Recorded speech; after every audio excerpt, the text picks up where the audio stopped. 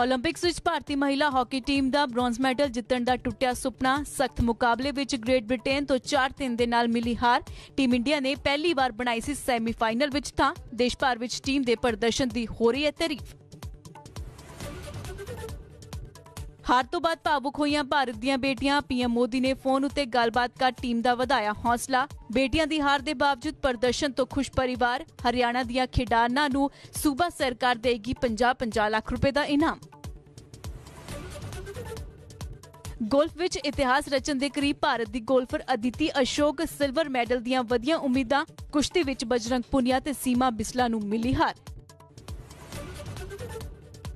Hockey ਦੇ major ਨੂੰ ਮਿਲਿਆ ਸਨਮਾਨ। ਖੇਲ ਰਤਨ ਪੁਰਸਕਾਰ ਤੋਂ ਰਾਜੀਵ ਗਾਂਧੀ ਦਾ ਹਟਾਇਆ ਗਿਆ ਨਾਮ। ਹੁਣ ਧਿਆਨ ਚੰਦ ਦੇ ਨਾਮ ਤੋਂ ਦਿੱਤਾ ਜਾਵੇਗਾ ਅਵਾਰਡ ਪ੍ਰਧਾਨ ਮੰਤਰੀ ਨਰਿੰਦਰ ਮੋਦੀ ਨੇ ਕੀਤਾ ਐਲਾਨ।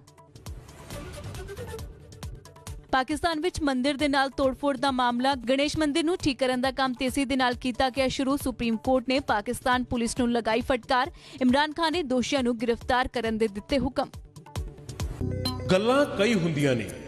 ਕੁਝ ਮਾਹੌਲ ਬਣਾਉਣ ਵਾਲੀਆਂ ਕੁਝ ਵਿਗਾੜਨ ਵਾਲੀਆਂ ਕਦੇ-ਕਦੇ ਡਰਾਉਣ ਧਮਕਾਉਣ ਵਾਲੀਆਂ ਤੇ ਕੁਝ ਸੱਚ ਦੇ ਲਿਫਾਫੇ 'ਚ ਝੂਠ ਦੀ ਚਿੱਠੀ ਪਹੁੰਚਾਉਣ ਵਾਲੀਆਂ उनको पता लगना चाहिए कि मेरा नेता कैसा होगा ਅਜਿਹੀਆਂ ਗੱਲਾਂ ਹੁਣ ਹੋਰ ਨਹੀਂ ਕਿਉਂਕਿ ਆ ਰਿਹਾ ਹੈ ਸਾਫ਼ ਸਿੱਧੀਆਂ ਤੇ ਸੱਚੀਆਂ ਗੱਲਾਂ ਦਾ ਪਹਿਲਾ ਸ਼ੋਅ ਮੁਕਦੀ ਗੱਲ ਮੇਰੇ ਯਾਨੀ ਜਗਵਿੰਦਰ ਪਟਿਆਲ ਦੇ ਨਾਲ